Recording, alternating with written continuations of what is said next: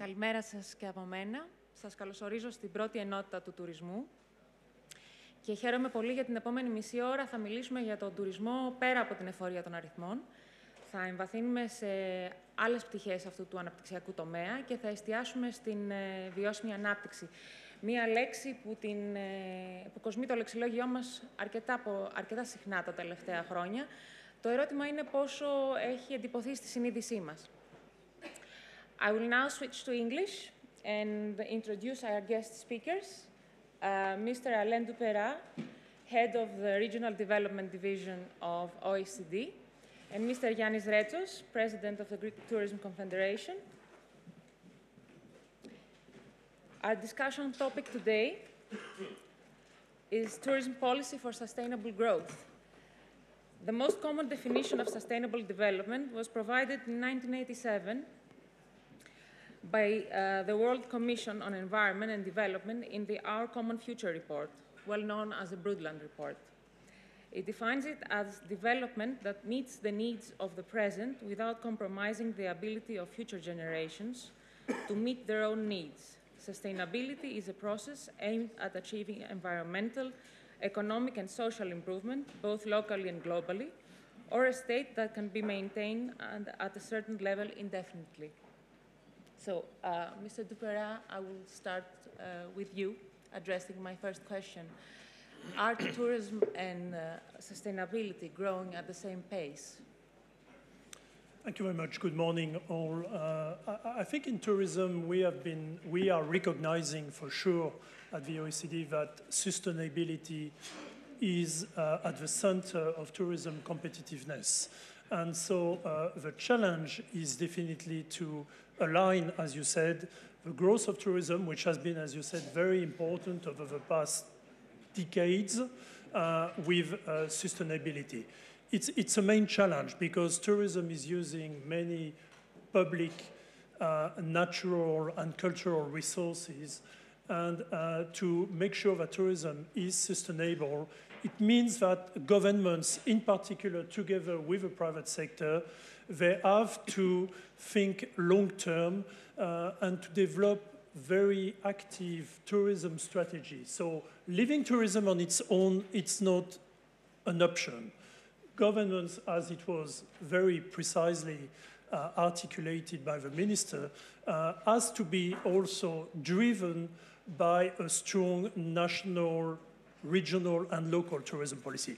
I think we still have progress to make here, uh, which I think is partly responding to your question. In some places, we have seen too much tourism, for example, which has been also uh, affected the sustainability of a destination. So it's everything is about management, developing a better multi-level governance, working closer with the private sector. I think now it's highly recognized within governments that without close working with the private sector, we will not be able to achieve the level of sustainability and inclusiveness that we would like to achieve through tourism uh, economy. So I think we still have many progress to do, but I think we are on the right, uh, we are going in the right direction. Okay, thank you. Uh, moving to the Greek environment, uh, Mr. Retsos, uh, which, uh, which of the following face the greater sustainability challenges? Destinations, or enterprises, or the tourism product itself? Well, first of all, thank you very much for the invitation. Very happy to participate in this, in this forum. Uh, I would say that uh, product, uh, enterprises, and destinations are interrelated and interconnected. Uh, product can be negatively or, negatively or positively affected by destinations management or by enterprises operation. And uh, we should always remember that uh, in Greece we ran through a major crisis over these last nine years, uh, which mean, means that uh, we face a lot of problems in terms of infrastructure, in terms of investments in our destinations and also in our enterprises. So this, one could expect that uh, would affect our product negatively. On the other hand, we saw a very big increase in tourism this last, uh, I would say, six years, since uh, uh 2013. Uh, what happened even though we face these problems and even though we have today uh, destinations that run over their capacity, is that we managed to create synergies. We understood that the main task is to manage our destinations, uh, uh, change somehow our mentality, try to use our natural resources in a, in a best possible way to satisfy, first of all, the habitants of the destinations in order to have a happy clients. So uh, uh, even though someone would expect that uh, during this crisis we would see destinations deteriorating and we would see tourists being unhappy, uh, we are in the process of trying to reverse that and uh, try to enhance the product, uh, enrich the product, manage our destinations better in order to make this, this tourist growth sustainable. Mr. Dupeyras, uh, what are the emerging challenges and megatrends, and how do we address them? I think we have many, we have many challenges if we think uh, long term and, and, and, tourism. But uh, many of these challenges, we can also see them as big opportunities for uh, tourism. So uh, at the OECD, over the past two or three years, we have been doing major uh, work on, on, to analyze some of the megatrends which will affect tourism. And, and, and, and, this is very important to position our countries at best uh, up to 2040. So, for example, if you uh, look at uh, demographic trends, yesterday there was a, a, panel, I think, touching on senior tourism and the opportunity of senior tourism for uh, for tourism in the long term and for a country like Greece in particular. Here, it means we have to change a number of uh, practices and operations in, uh, in, in, each destination. So there is a need to adjust uh, the tourism uh, economy and the way the tourism businesses are functioning to this, to this challenge, but which is also an opportunity. We can think about the same about the tremendous growth of uh, uh, middle age uh, class that we see everywhere, especially in Asia, which also require adjustment to the industry.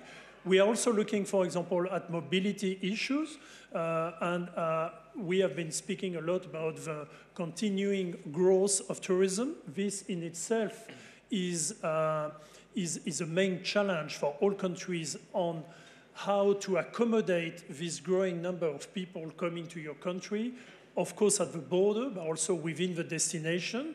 And here you can immediately link with another long-term challenge, which is linked to the sustainability issue. And for example, uh, if you think uh, mobility and transport, which is a main uh, emissions uh, dimension of tourism, you have to think about mobility within the final destination. Active mobility uh, patterns, for example, are now being developed in many uh, key Mediterranean destinations to smooth a little bit this. But we can think about also about, for example, in terms of sustainability, about food production. so we have more than a billion tourists international traveling in the world. Um, we know that uh, there is also a number of, uh, I mean, all of these tourists, of course, they are eating, they are going to restaurants, you know, they are going to hotels. So how can we do better to manage food production in the uh, hotel and restaurant sector in particular? And here, for example, I think we are still at the very beginning. We haven't done much, for example, in terms of circular economy in uh, the tourism sector. So there are plenty of challenges like that. We could think also about security, which is a growing uh, challenge in, uh, in, in, in many, in many uh, countries. So we have been looking at some of these megatrends like this to see sorry, what does it mean for governments? Governments need to think long term, need to think strategy. They need to do some uh, foresight scenario, I would call them, you know, and, and in tourism we are not so uh, well trained to do this because I mean we are used to have more tourists every year, you know, but not it's not sufficient. You need to be a bit more innovative. You need to be prepared for the long-term future, and so governments have to be a bit more agile, a bit more innovative, and a bit more uh, forward-looking. And to do this, they need to uh, discuss not only within the various levels of government, but also with the private sector, and we need to work with the whole tourism industry, which is also a challenge in itself. Switching to the private sector, Mr. Retsos, how does the private sector engage uh, with market demand, the, the enabling technologies, and the environment? First of all, demand. This is the, the biggest issue. Uh, what we're trying to do as private sector, uh, actually, uh, six years ago, we created a, a private company, a non-profit company, Marketing Greece, uh, which cooperates closely with the government in order to, to enable the formulation of the product and also promote uh, different destinations uh, and the country as a whole. So this is a, an ongoing process. Actually, last week uh, we had a big presentation of a digital campaign for 2009, uh, which uh, was adopted by the Ministry of, uh, of Tourism and uh, actually was given to the Ministry of Tourism in order to, for the ministry now, to use the international means and use it as a promotion of our country uh, throughout 2019 and onwards, of course. Now, technology is a very big issue that applies both in, uh, in, uh, in companies, but also for the clients. Uh, in terms of enterprises, adopting new technologies can make their operation more efficient and more effective. On the other, on the other, on the other hand, by adopting uh, new technologies, you can make the product better and you can make customer experience better. And I can give you an example especially in culture, in archaeological sites, when you have the ability to buy electronically your ticket, or you have the ability to be electronically allocated in a certain time period throughout the day to visit a certain site and avoid congestion, or being at a certain site in a cultural uh, uh, site and uh, have an app that uh, uh, depending on who you are and what is your age, can describe you in a different way what you're looking at. So all these are really crucial and, uh, and important in order to, uh, to, to, to maximize uh, uh customer experience. And uh, what we did uh, in September, in October actually, we had our, our annual convention, which was dedicated in technology. we called it something different, and we tried to show new applications, new, new trends in tourism, and actually uh, different technological approaches that can be adopted both from companies uh, but also from, uh, from the public sector. Uh, now, uh, in terms of sustainability, we have many different, different studies lately which show very different, very, very important and interesting things. There is a Nielsen study showing that in, in 60 different countries, showing that two out of three people are willing to pay more for environmental friendly products. Also, there are other studies that show that uh, millennials and Generation Z uh, people uh, are looking for products uh, from, for original project, products from the local community, and they're also willing to pay for that. So uh, this uh, gives us, it, it's, a, it's actually a push for us and makes us trying to find ways to enrich our product. Uh, interface it with culture, with gastronomy, try to use local resources more than we used to do. Uh, try to make uh, uh, uh, local producers participate in the creation of the product and the creation of the experience. So I think that all this, uh, along with change of mentality, which is number one you should do, change of the, of the mentality of the local people, enables us create a better product and a more sustainable product. And also being able to, to attract higher income uh, tourists in our country. Thank you, Mr. Uh, we heard about change in the mentality. You spoke about innovation. Uh, there, there's a, a, need of change in culture in order to uh, move uh, sustainably and to reach in inclusive growth. What is the role of government destinations and the private, private sector in this process, Mr. Dupeyras? I mean, the role of government, as I said, is, is, is, is instrumental in uh, ensuring uh, long-term, sustainable, inclusive, but also a strong uh, economic growth of, of, tourism. I think what is important to understand when we come from tourism is that tourism administration only, or Ministry of Tourism only, will not be sufficient to achieve all of these uh. So uh, uh, a tourism ministry has to work very closely with all of the other arms of the government at national, regional, and local level. Easy to say, difficult to uh, manage. So, in other words, I think we have to uh, integrate that tourism requires a complex multi-level governance system, uh, which is public-public, but also public-private. So this is very important. And here, then, uh, we have to strengthen on a continuous basis uh, the tourism administration to make it well equipped to discuss with, for example, uh, innovation people or with uh, economy uh, and uh, development. You were mentioning, uh, for example, the fact that tourism is not, on, is not sufficiently receiving funding for its development, for example, through the EU programs and different things. I'm now also covering, for example, at the OECD, regional development, and I can see, of course, the main difference, you know. So I think here, uh, we still have to demonstrate that the tourism economy is a very serious economic business, uh, has the potential to create jobs, to create local development, to uh, create jobs at the local level, so to be more inclusive, has also all the potential because all of the small businesses. Uh, and so tourism can bring many things to an economy that, for example, the financial sector cannot bring. So this is, in, in other words, much complementary to uh, other sectors. We have to work on difficult issues also, like uh, how can we increase the productivity of the tourism sector? Because at the end of the day, if we want to increase the added value of a tourism product, we have to uh, ensure that uh, skills in tourism will be also you know, enhanced and developed.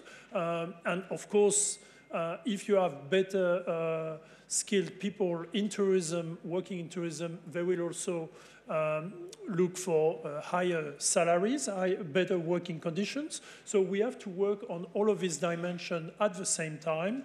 And here, of course, government can help, but the private sector is everything, because at the end of the day, uh, tourism is driven by the private sector. So we have to work very closely with the private sector on these issues to ensure that we are progressively, um, you know, increasing uh, the capacity and the added value of, of a tourism uh, economy in the economy. Innovation is everywhere, and innovation requires tourism ministries to work with innovation agencies, with uh, other type of departments to make sure that this innovation that makes sense can be also embedded in uh, tourism uh, development. You were speaking about the digital economy. We know uh, how uh, important will be uh, to succeed in the digital transformation of tourism SMEs. and this is a big challenge given the very small businesses that we have in the sector. Of course, it's not uh, so much of a challenge for the big champions of the tourism economy, but the small one it is. So how can we accompany this? How can we uh, uh, develop further digital skills in tourism? uh, which is also very highly demanded. How can we adjust, you know, the uh, training and education, um, but also on-the-job training to make sure that this is uh, this is working properly. So all of, all of this, this is the way a, a, a modern government has to work mm -hmm. on tourism, not in isolation, but in close cooperation with all the other arms of the government, but also with the, with the regions. Uh, and, and, and, and, this is important in all countries. In some countries, regions have the responsibility of tourism. In some other countries, it's not the case, but in all cases, you have to make sure that uh, both uh, policies at regional level and at national level are closely aligned to succeed. Thank you. We heard about the added value of tourism. You spoke earlier about infrastructure. What actions can be taken uh, in order to improve the impact of tourism in regions, cities, local communities, Mr. Retsos? Well, uh, first of all, uh, I, I, want to say that uh, to, to, deal with the sustainability issue and uh, actually uh, make situation better, an easy answer would be to distribute our 30 million guests in, in more places or uh, maybe enlarge the season. But the, the, the, actual fact is that we have uh, many destinations and uh, we target certain markets and we have certain pro products that uh, will make these destinations operate over capacity for four or five months forever. You cannot do anything about that. So how you're going to face this, this problem that uh, becomes uh, bigger and bigger every year. I think what needs to be done, uh, first of all, is uh, investments. Investments, as you said, in infrastructure, in federal level, but also in local level. Local level is more important. Uh, we have elections, actually, in May for our new mayors and new uh, uh, in our regions, and uh, what we say in, in our members and to everybody is to, to pressure the, everybody who participate in these elections to be committed on what they're going to do in terms of tourism and in terms of improving their infrastructure. So one thing, thing is infrastructure, but I think most important than infrastructure is the change of, of beliefs, of mentalities, and of stereotypes. If we, people, I mean, uh, people who live in this country are not ready to change our mentality and our stereotypes, no matter how much money the government or the, or, uh, the region or the local community is willing to invest, there is not going to be a change. And I can give you many examples. Uh, as I told you, we have uh, many destinations now in our country that uh, operate over their capacity. We saw Corfu last year with the garbage disposal. It's a problem that still remains unsolved, and we have the local community that fights against the problem. We have the local community that does not want to accept know-how and money from the European Union to create modern plant and actually ask the government even today to pay for the removal of the garbage from Corfu to another place in Epirus. So if uh, we don't manage to change these stereotypes and our mentality, I think no matter how much money the government or the local community is willing to invest, there's not going to be change. Thank you, Mr. Retsos. We still have a few minutes. Uh, therefore, I would like to ask from both of you a short closing remark. Mr. Dupeyras, starting with you. Uh, I, think, uh, I mean, tourism, uh, I mean, now tourism has demonstrated uh, the, uh, the, the role it can play the multiple roles it can play in the economy. We have to uh, pursue in this direction, uh, in particular to work on the sustainability and the inclusiveness dimension of, of, of tourism uh, and, to, and to work in particular uh, with uh, small and micro businesses and as well as with the local communities who are playing a very important role for the long-term uh, sustainability of the sector. So I think this is key, uh, and I think this is uh, in, in the same spirit as what the speaker, the other speaker was saying, uh, we have to change a little bit sometimes the mentality uh, at the local level to make sure that uh, you know tourism is well received and can contribute to to a long-term development, sustainable and inclusive. Thank you, Mr. Dupeyras. Mr. Retsos. Uh, I would like to say that uh, in order to, to formulate a strategy for the future and uh, uh retain uh, this growth and uh, this power we earned over these last years as, as one of the main global tourist destinations, we should focus on destination management. nowadays, destination management is equally important as destination promotion. Uh, we should take examples from abroad. We have many examples. In our conference, we brought the example of Amsterdam, the example of uh, Copenhagen. Uh, they showcased that they show, showcased us uh, how uh, they have the private sector, the federal government, the local community work in synergies and how they manage to manage their destination in the way that uh, they have uh, happy habitants. Having happy, happy habitants, happy, happy citizens, uh, means that you're going to have happy tourists. So I think we should focus on that and we should build our strategy around that. Thank you very much. We have reached closing time, so changing culture, innovation, infrastructure, sustainability in order to uh, reach inclusive growth. I would like to thank very much Mr. Dupeyras, uh, head of the Regional Development and Tourism Division of OECD, and Mr. Yannis Retsos, president of the Greek Tourism Confederation. And thank you all for your attention. Thank you very much.